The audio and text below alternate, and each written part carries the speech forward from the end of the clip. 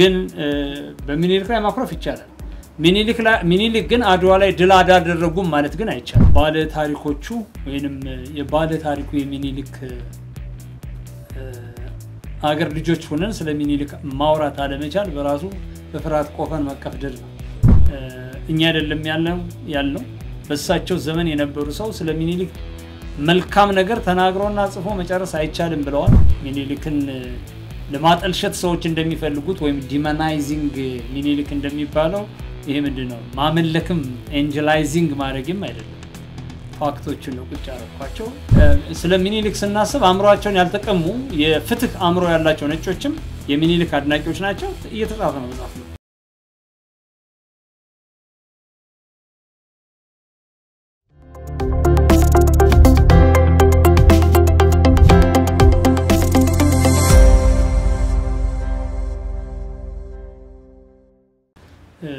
ከጥያቄው ብነሳ ደስ ይለኛል።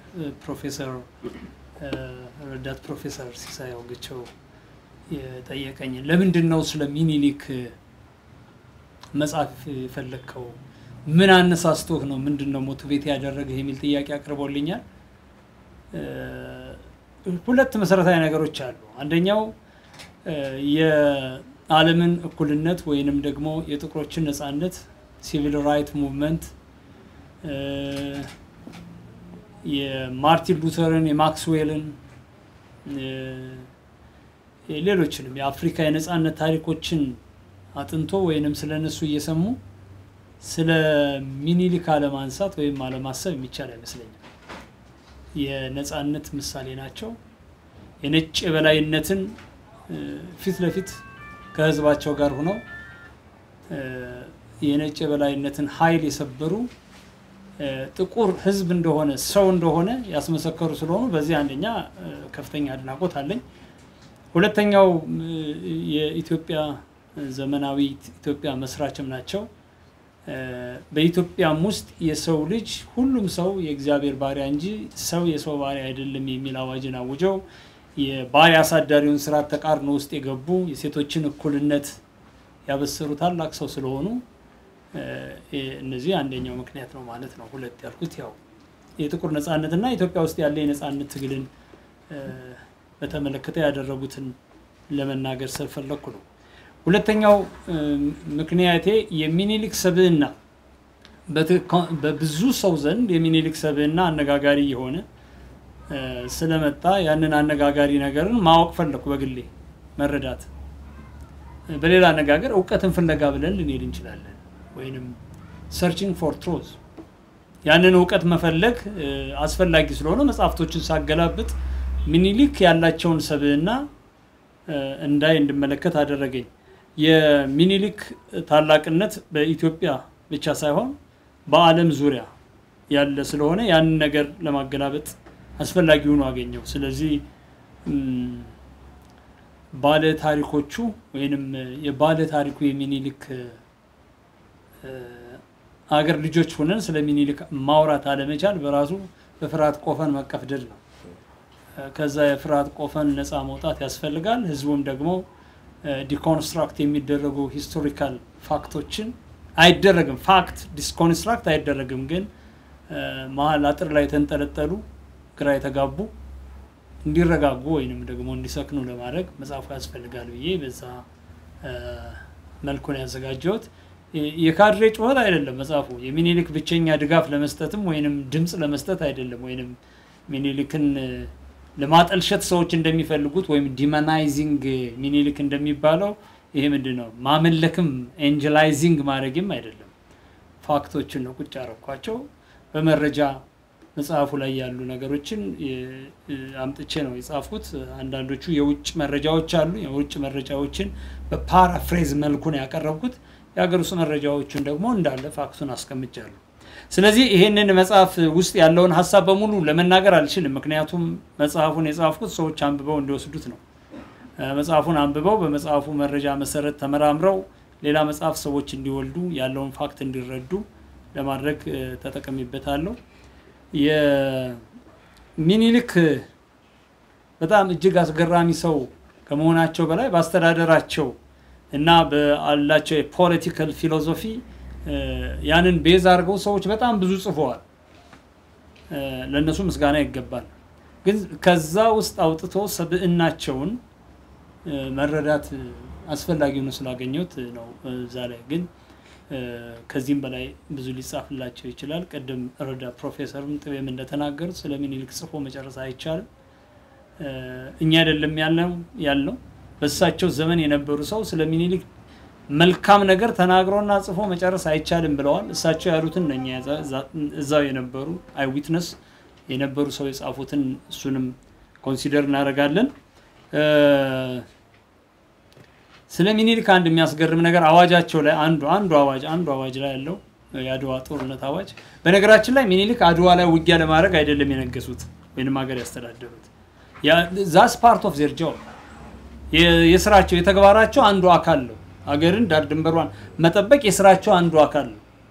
ብዙ ጊዜ ስለ አድዋ ስናስብ አድዋ ስለዘመቱና የአድዋ ድልን ስለሰጡን ብቻ አይደለም ሚኒሊክን ማድነቅና መከተል ወይንም ደግሞ ስለ ሚኒሊክ መጻፍ ያለብን። አድዋ is part of የሚኒሊክ አስገራሚ አንዱ ድል አድዋ ነው።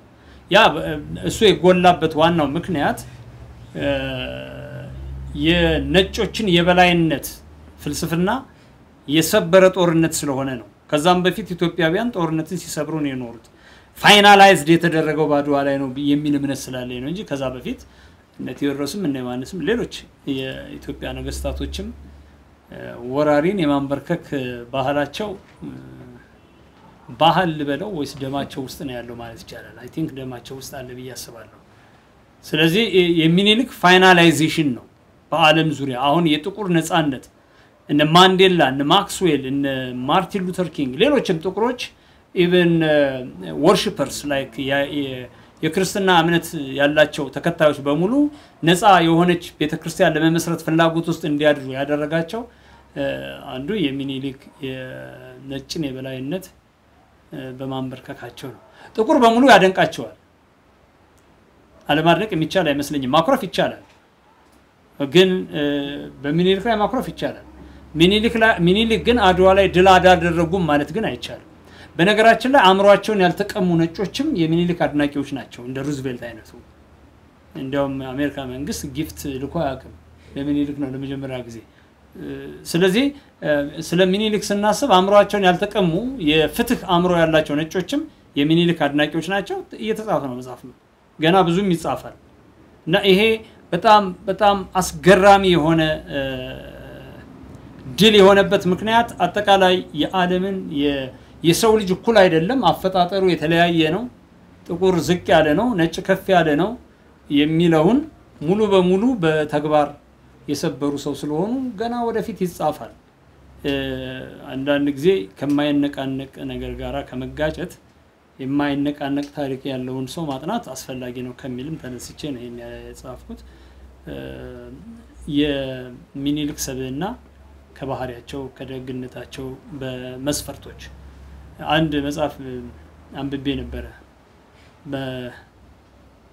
የመልካም አስተዳደር መመዘኛ የሚል በቀድሞ የማስታወቂያ ሚኒስትር ኦር የኮሚኒኬሽን ጉዳዮች ወር whatever በአቶ በረከት ስምኦን የተጻፈ የመልካም አስተዳደር መመዘኛ የሚል አንድ መጽሐፍ አለው። ትንሣኤ ኢትዮጵያ ይሁን እንደዛ የሚል መጽሐፍ ላይ የመልካም አስተዳደር መመዘኛዎችን ደርድሯል እዛ እና በዛ መሰረት ሚኒሊክን አስገብቼ አስተዳደራቸውን ሳይ የመልካም አስተዳደር መመዘኛዎችን hundred percent ያሟላሉ በዛ መጽሐፍ መስፈርት መሰረት እና እዚህ መጽሐፍ ውስጥ ታገኙታላችሁ። ያ መጽሐፍ ምን እንደሚል ለማየት ይቻላል።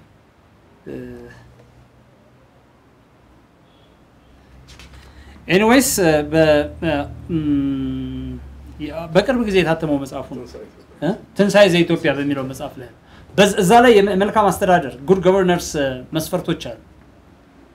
ስለዚህ ስለ ሚኒሊክ ስናጠና ስለ ሚኒሊክ በምንነጋገርበት ጊዜ ቀረብ ብለን ሚኒሊክ ያደረጓቸውን የሰሯቸውን ነገሮች አንብበን ተረድተን እንድንመራመር የሚያደርግ መጽሐፍ ነው። ያ ማለት ሚኒሊክ ፍጹም የሆነ የመለኮታዊ ባህሪ እያላበስናቸውም አይደለም። balance ለማድረግ ስህተታቸውንም ለመፈለግ ፍላጎት የለኝም። ስህተት ከተገኘ ይዘገባል። ትክክል ከሆነ ጥሩ ነገር ከተገኘ ይዘገባል። እዛው on plate ወይም ቴብሉ ላይ እንዲቀመጥ ማድረግ ነው የአንድ ተመራማሪ ስራው። ስለዚህ ይህንን ይመስላል። ስለመጣችሁ መጽሐፉንም ስለመረቃችሁ በግሌ ከፍ ያለ አክብሮት ሰጣችሁ ፈልጋለሁ። አመሰግናለሁ።